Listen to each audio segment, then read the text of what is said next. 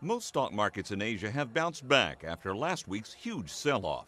Analysts say state owned financial institutions engaged in a buying spree that left China's Shanghai index up 3.7%.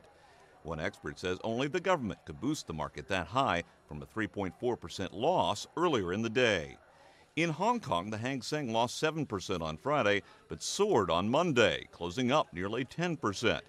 Australia's S&P closed up almost 5% after a record-breaking 8% plunge on Friday. That's got investors a little hopeful. Uh, we've just watched our uh, self-managed fund sort of go down and down and down, so we're hoping that this is the bottom of the market.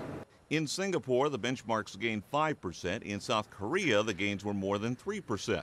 But in Shanghai, Taiwan, and Indonesia, Monday was another day of lower numbers, with benchmarks losing more than 3%.